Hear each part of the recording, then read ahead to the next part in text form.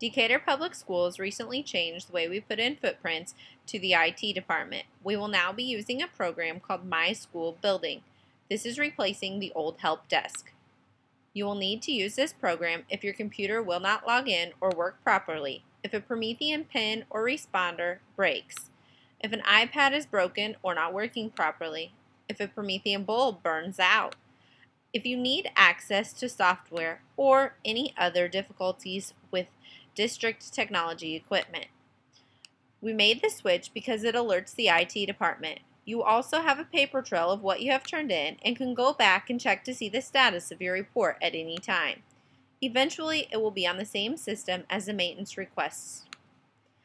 You can get to My School Building one of two ways. First, you can go to www.dps61.org backslash help. This will give you a step-by-step Uh, instructions of what to do. Or you can go directly to myschoolbuilding.com. To go to My School Building, up in any web browser, you will type www.dps61.org backslash help.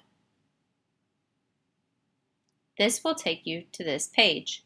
Once you have gotten to this page, you will want to go and copy the organization account number. Then click on myschoolbuilding.com. This is where you will paste your number. Next, you will want to type your email address. Make sure that you have correctly typed your district email address. If you do not, it will give you a prompt asking for your last name, or you can make the necessary corrections.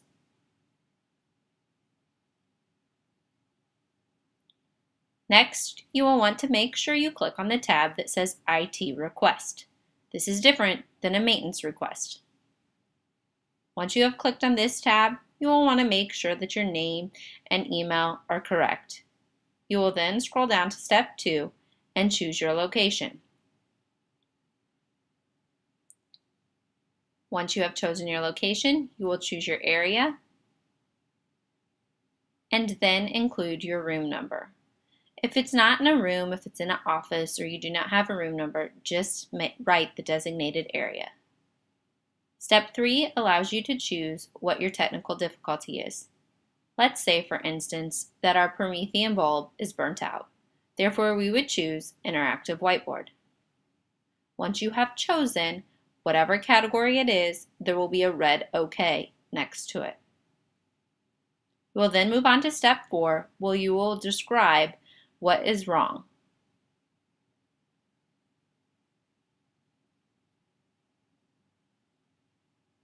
Once you have included a description, you can also add an attachment if necessary.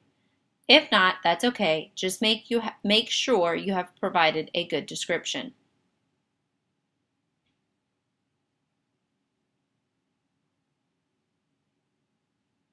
Lastly, on step 7, you will type the word HELP. That is your submittal password. Then click Submit. Once you have submitted a My School Building request, you will receive an email. If you would like to check the status of your report, you can go back to myschoolbuilding.com and click on My Requests. They will then show up underneath the blue area that has your reports. Once you are finished, you may log out. If you have any questions or would like assistance, please contact your instructional technology coach or our technology coordinator at the addresses listed. Thank you.